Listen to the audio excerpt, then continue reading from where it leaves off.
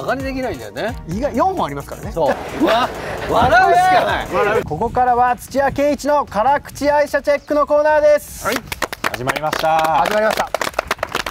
これは辛口言っても刺されねえな。そうですね。俺はねスプーンは打たれ強いんだよ。あじゃあ昔からあのお知り合いでずっと知り合いなんてもんじゃないもん。あももうこのジョーちゃんのボスがもう喋り出したらつまんねえ話延々とする、ね、今もう隠居しちゃったけど。うそうなんですね。い。やだけどねはい。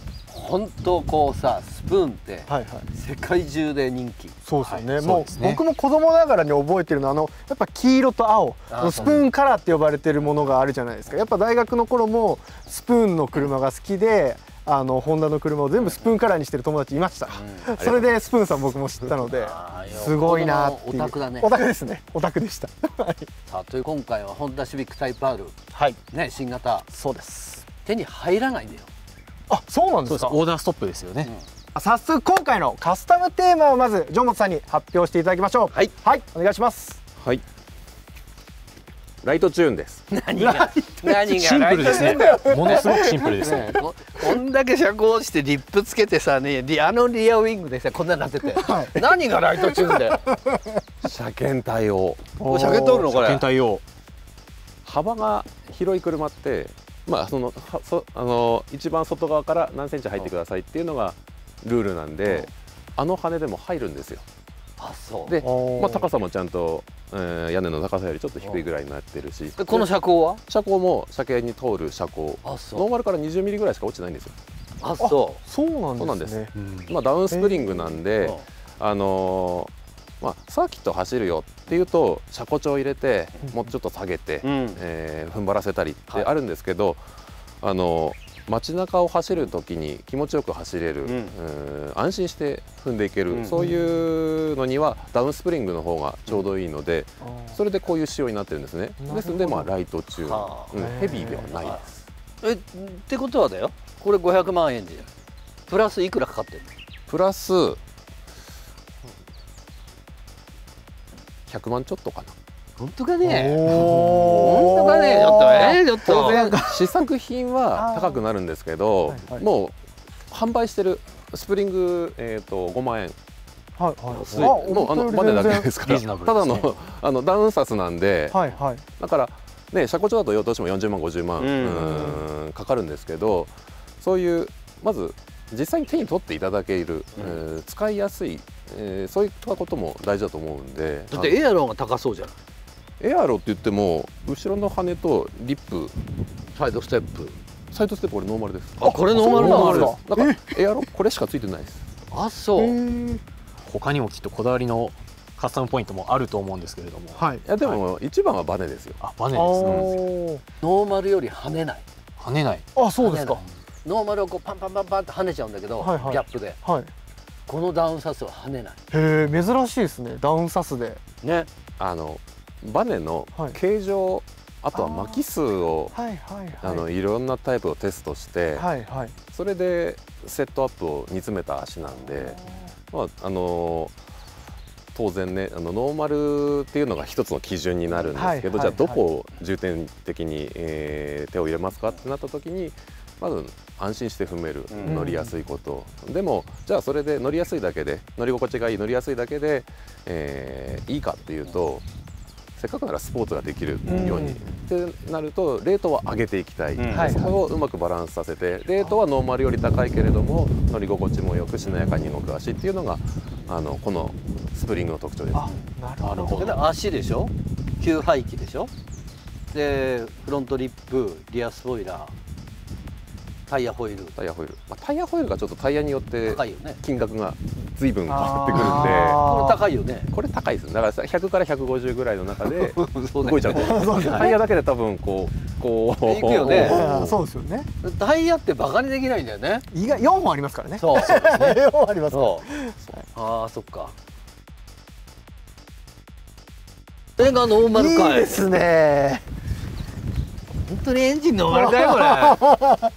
え？これいいですね。レーシーな感じですね。こういうところの断熱。うん。断熱とかちょっといろいろやるのに、はい。えー、とこの辺はまあ、レースカーとかはよくやってるじゃないですか、うん。はいはいはい。熱のテープを、る。まあ、そういう細かいところはいろいろ手はや、入れてますけれども、はい。あのものを大きく変えるとかではなく、とにかくこの車の良さを、うん。はい。はいえー引き出してあげる、うん、熱だれとか、うん。えーそういったことって本来のポテンシャルがあるものが落ちていくわけじゃないですか、うん。はい。それをいかに少ない落とし量で済ませるか、うんあの耐久レースとかと同じなんですよ、うん。あのはい。はい長い時間をずっと安定して走らせることがまず大事、うん。あと壊さないこと、そうですね。だからパワーアップっていうのは一番最後にうんうんうん。やるものなんで、はいはい。まあ、僕らはそういうところを重点的に手を入れてます。そりゃ乗ってみよよ。いうやちょっとぜひ土屋さんのはい辛口チェック。辛口チェックで。楽しみですね。はいお行願いいしってみたいと思いますます。はい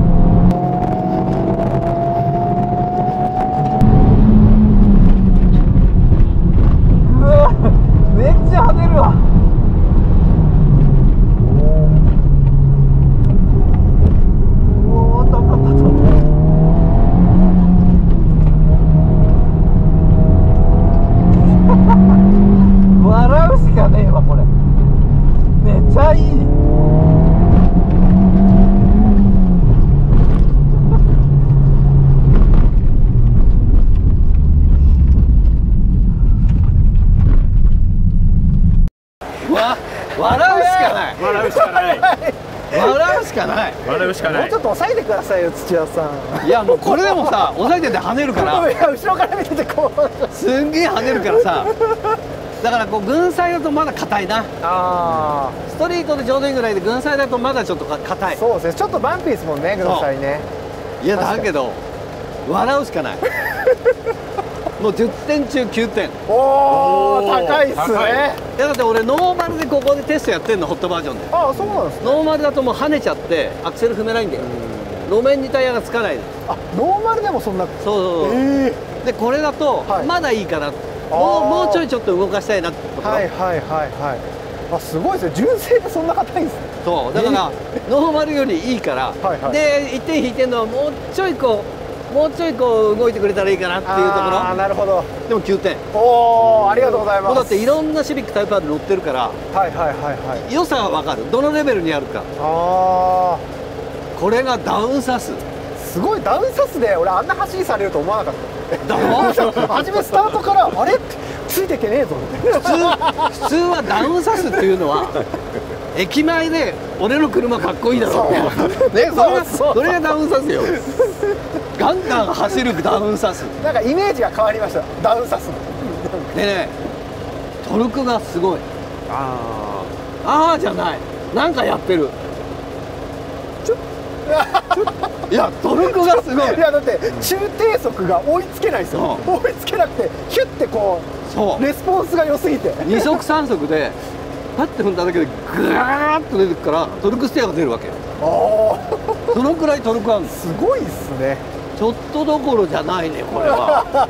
何がライトチューンで。ライト中ちょっとでもなんだかんだで全部ダイヤまで入れたとしても150万ってはいはい。ここまで走れちゃう。いやすごい安なんかオプションでこれがあったらめっちゃ安いなと思います。と思う、はい。いやビュンビュン曲がるし、はいはい。すげえトルクだし乗ってて笑うしかないんだから。笑うしかない。もうだってヒロキを3回ぐらい待っててあ待てるぐらい俺ヒロキがいなくなっちゃった。すいません。で3回ぐらい待ってたよね。特に低速立ち上がりでもうななぜか知らないですけど、ね。置いてかれるんです。よ いやだから本当にね完成度が高い。いや見てて分かりましたもう後ろから見てても。いやでもさ、こういうの乗っちゃうとさ30万も40万もする車庫帳いらないね。そうね。5万円だよいやちょっと俺逆に5万が安すぎるような気がしてますけどね。8万ぐらいにすりゃいいんだよ。で 失敗しましたね。K1 プランニングバックで。ああなるほど逆に。じゃあ土屋圭一エディション作りますか。うちで8万円で売るから 確かに。いやだって本当に車庫帳いらないいやよ本当に良かった。ですね、はい。後ろからついてきてわかるでしょ？いやすごい良かったです。車庫帳みたいな走りなんだから本当に。すごかったね。はい。目指したとこはねそこなんであのどんなところでも走れる、うん、あとはただ格好のために下げるんじゃなくて、ちゃんとそこに性能乗れるし、はい。そうだね、まあ、そもそも下げるって僕らやりたいのって下げることでリバウンドストロークが伸びるからそれがやりたいんですよ、ああそうです。結果下がっただけなんで。すよ、はいはいはい。はいでさらに踏んでいけるんだったらうん。なお良いっていうところで、確かに。そうだね、うん。いやこれはちょっとすごい。すごかったです。すごかったですね。はい全然辛口じゃねえ辛口じゃないです。9点ですか？ね9点ですはい。ということでした。はい。ありがとうございます。車のことならアヘッドモーターサービス。あなただけのこだわり。車の競技カスタムチューニング新中古車の買い取り販売ならアヘッドモーターサービスへ